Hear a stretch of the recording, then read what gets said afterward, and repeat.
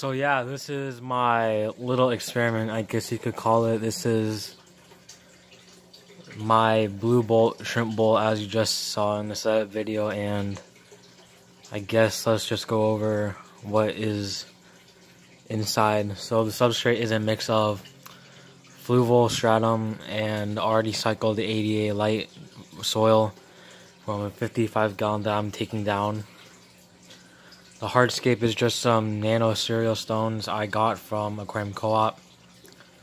Plants are just water lettuce, java fern, and water sprite, which I am hoping to add more plants soon to help with the natural filtration.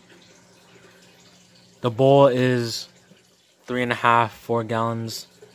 The light is 12 watts, which you can find on Amazon for around $20.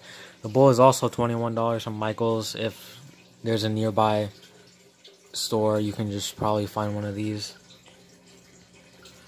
This tank is no filter, no no filter, no CO2, no fertilizers. Not sure about the no heater part because where I live it gets pretty cold in the winter. So as you can see, these shrimp are the Taiwan Bee Blue Bolts. I only have two in here right now because that's all my one of my local fish stores had.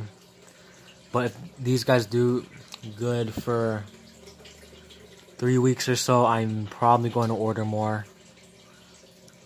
And they were not really the easiest to they're not the easiest to take care of. They're not as hardy as Neocaridina shrimp, but as from like a hundred years ago, they are harder than they were. I don't use any um, water buffers besides the substrate because here in Washington the water is already pretty soft. Like around 7.0 to 7.2 is what it comes out of the tap. So I technically didn't have to add any of the stratum or ADA but it just lowers the pH even more to a more comfortable area for them. It also helps with the plants as you can see kind of the the water sprite is actually pearling which is a good thing because it helps with oxygen. But because the substrate is so high in nutrients, I also have this issue with some green, some blue-green algae and some bubble algae on the glass. Well, not on the glass, but some of the rocks.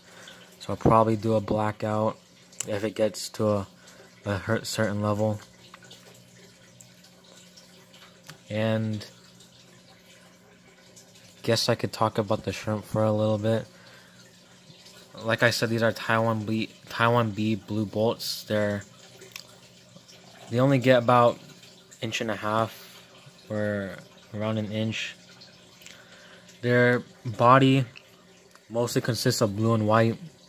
So around the head is more of a light blue, but the rest of the body is mixture of the same blue and white. So they're pretty cool. And as the weeks go by, I will keep updating on this little project.